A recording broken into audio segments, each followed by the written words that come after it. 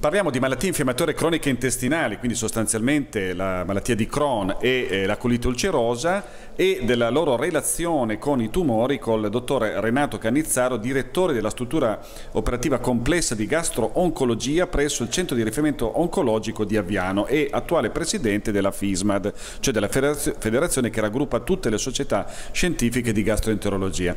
Senta, dottor Canizzaro, per come mai in un centro oncologico vi occupate di IBD, di malattie infiammatorie croniche croniche intestinali? Noi sappiamo che eh, le malattie infiammatorie croniche intestinali, il Crohn e la colite ulcerosa, hanno un rischio di neoplasia.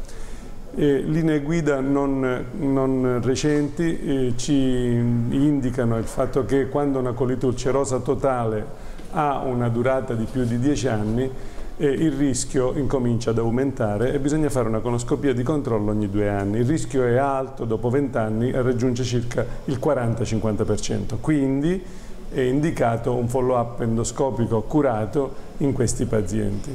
Ma pare che i dati stiano cambiando. Ecco, come mai c'è questo aumentato rischio? Qual è la relazione tra l'infiammazione cronica e l'insorgenza di cancro? La flogosi cronica può essere un rischio per lo sviluppo della displasia che è la condizione precancerosa che porta verso il cancro ed è quella su cui noi miriamo la nostra attenzione per fare una prevenzione secondaria corretta con l'asportazione laddove si può sia endoscopica che chirurgica per evitare che si sviluppi una neoplasia avanzata. Ecco, vediamo prima l'aspetto diagnostico, come si fa a eh, appunto, capire in tempo che qualcosa sta cambiando in peggio? Cosa, che, che test utilizzate? Allora naturalmente per la colite ulcerosa la conoscopia con tutte le metodiche attualmente in uso, la cromoendoscopia, anche l'NBI, si può usare, cioè delle colorazioni elettroniche e si affaccia a a questo eh, armamentario eh, endoscodiagnostico l'endomicroscopia che ancora è fatta in pochi centri ma che ci può dare immediatamente una definizione di alterazioni cellulari verso la neoplasia. Per quanto riguarda il tenue invece, per il Crohn le tecnologie ormai sono ben consolidate, la capsula è endoscopica e poi l'enteroscopia che ci permette di fare delle biopsie.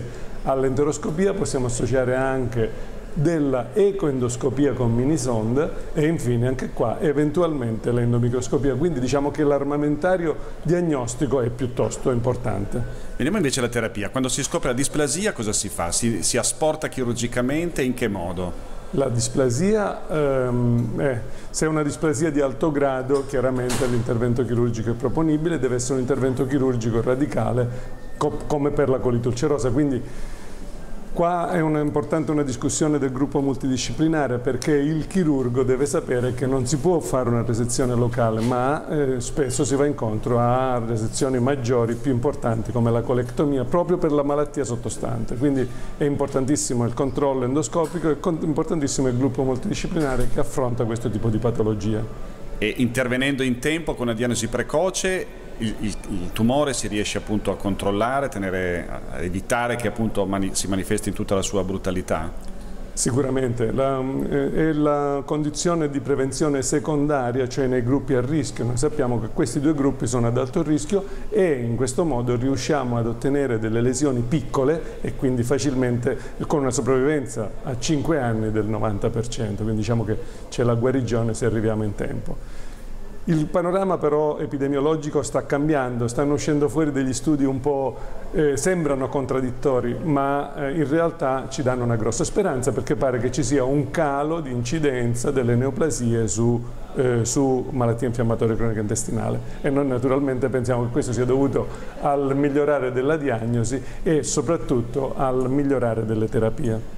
C'è le terapie appunto antinfiammatorie che sono tante, eh, appunto tenendo sotto controllo la malattia riescono anche poi a impedire la sua evoluzione. Esattamente, l'evoluzione verso il tumore e quindi, eh, e quindi è particolarmente importante che i malati, i malati, affetti da patologie infiammatorie croniche intestinali siano seguiti dal loro specialista, cioè dal gastroenterologo che sa impostare correttamente i controlli endoscopici e anche una terapia che quindi in questo caso è antineoplastica, può essere antiproliferativa con risvolti importanti per la sopravvivenza.